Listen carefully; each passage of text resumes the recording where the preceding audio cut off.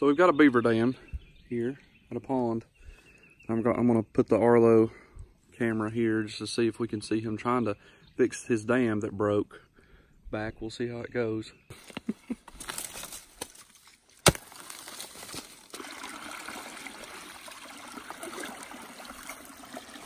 see how long it takes him to fix it.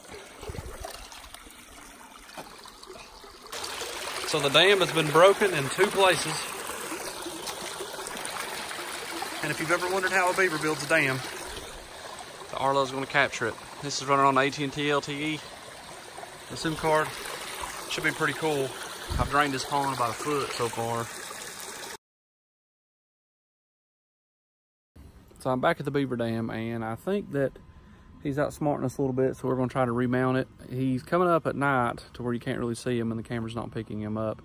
So we're going to try to break the dam again and see what we can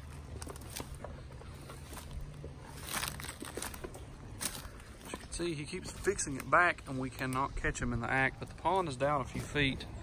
So we're gonna see what happens here. Here comes James with his big pipe. A lot more water than what it looks.